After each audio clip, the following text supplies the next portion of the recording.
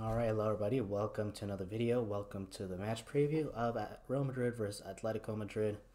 Uh, so pretty much I'm going to go over both press conferences, uh, which really were boring. Um, I think a biochemistry class could really beat that. It was, um, I mean, it was it was useless. It was petty. Uh, didn't really get much from it, but um, I did glean some um, answers from the press conference. So uh, let's get started on the Solari one. so maybe some of the mo- more interesting questions, which they weren't really that uh, pertinent to tomorrow's game, but I'll still go over them. Was um, does Morata need to celebrate tomorrow or not? Um, you know, Solari responded, the respect for the rival has nothing to do with personal satisfactions. really, his his answers are just so boring. I mean, I I can't wait for them to be over those press conferences. He he never he almost never ever ever answers the question directly and I think that's what frustrates a lot of of us fans or and he did, he doesn't have a lot of charisma so obviously uh, that doesn't help his um that doesn't help the whole press conference either. Um yeah anyways that's that's conversation for another time. Um let's get to the other questions um so someone asked, "How is Isco?" You know, you can't go with you can't go a press conference without asking about Isco. But in this case, I think it was because Isco had a little niggle. So uh, someone asked, "How is Isco, and will he be in the squad tomorrow?" Um, so pretty much Solari just answered that he's got a little niggle at the shoulder, but we'll evaluate him tomorrow. Um, so yeah, obviously he has something, but really, would that have changed anything? Isco wouldn't have played anyways, for sure.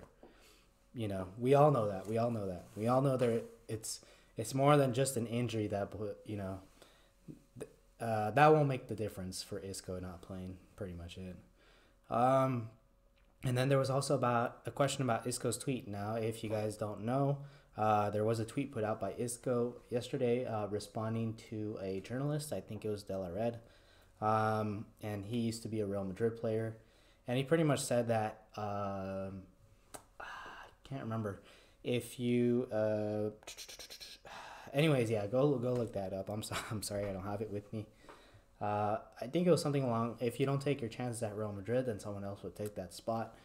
But you know, Isco just pretty much responded that if you don't have the same opportunity as your teammates, then things can get a little different. Things are not the same. Um, you know, so that's that's really it. It's um, it's not Isco's fault to be honest. It's it's really not, and I think if everyone really looks more at the situation, it's just that Solari cannot fit Isco into his formation because he doesn't play with the number ten. And obviously, if you look throughout uh, throughout football right now, there's a lot of problems with cams right now at the moment. Uh, you know, Coutinho's a problem. Coutinho's someone who has a, a bit of a problem. Um, because he can't play uh, as a number 10 in Ernesto Valverde's formation because Ernesto Valverde, I think, uses 4 3 3 as well and with no cam. Uh, so Coutinho's having difficulties. You know, Juan Mata at Manchester United, he's never really, uh, you know, performed to the level that, that we thought, but he was always playing on the right. He was never playing at the center. Um, you know, and I can think of numerous other people or other number 10s who are not.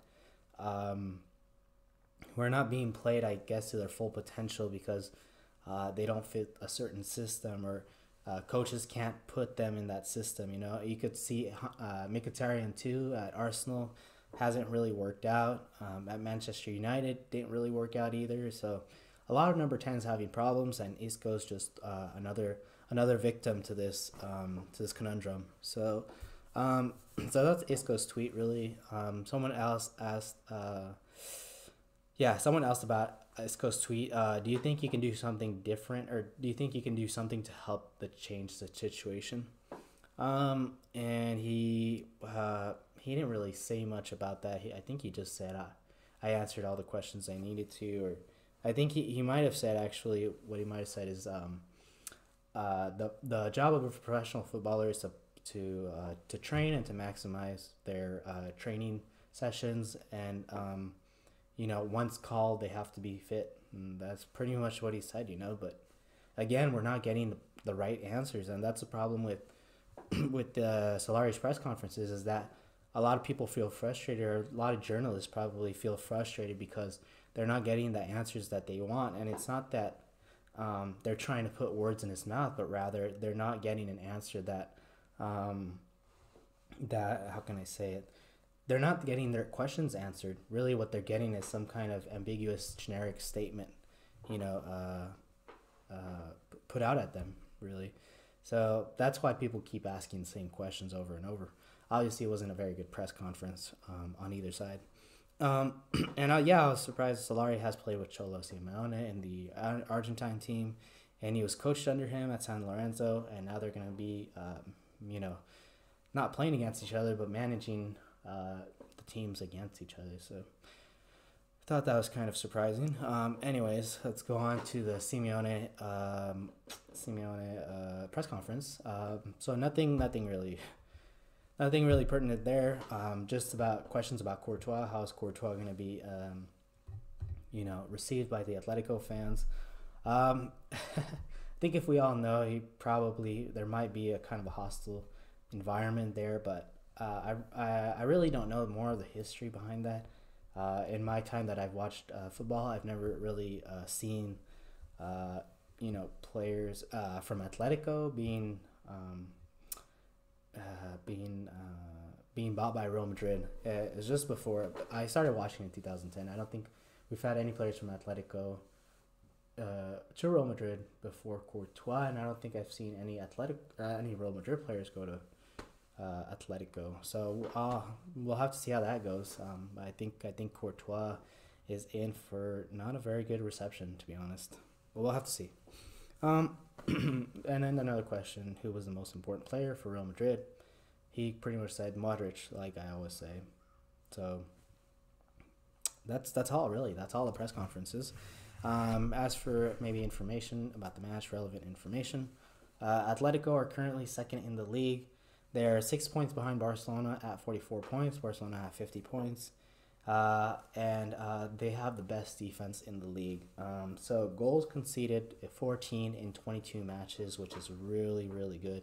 Um, you know, only 0.63 goals conceded per match, so uh, they obviously have a very very solid defense. Um, and their their wins and loss ratio, uh, they have 12 wins, they have eight draws, and they have two losses. obviously, a draw when you don't score a lot. you'll tend to draw a lot of your games. That's only normal, I think.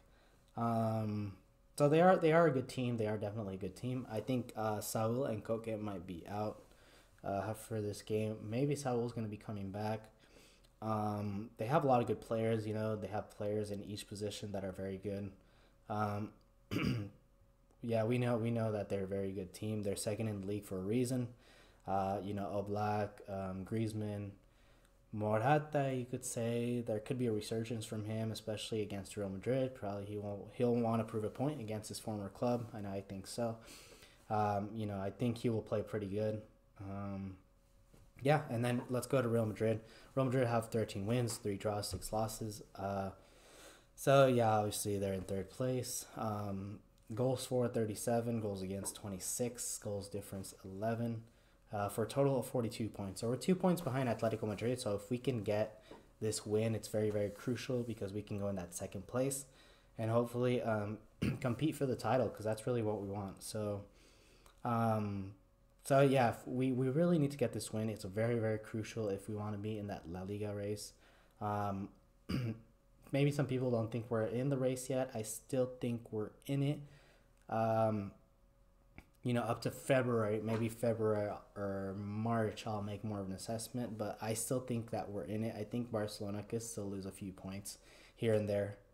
Um, and yeah, I think that's pretty much it. That's pretty much all I want to say. Um, the line, as far as the lineup goes, I think it'll be, uh, you know, yeah, Navas. I, I thought Navas would start playing more, but last time I realized it was the cup. You know, so I think it's just going to be Courtois that's going to be playing goal, which obviously I don't agree with. Um, and then you have Carvajal. Carvajal, yeah, you have Carvajal, Varane, and Sergio Ramos in the center back. You'll have Marcelo or Reguilon.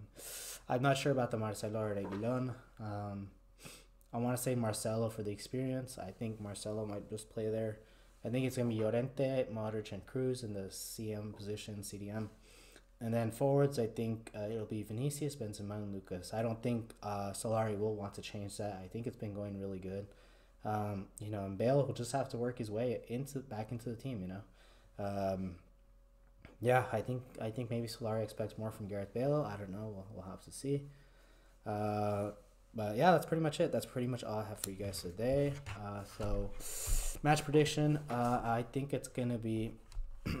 I'm going to say one-one draw, um, and that sucks because obviously we won't get into second place.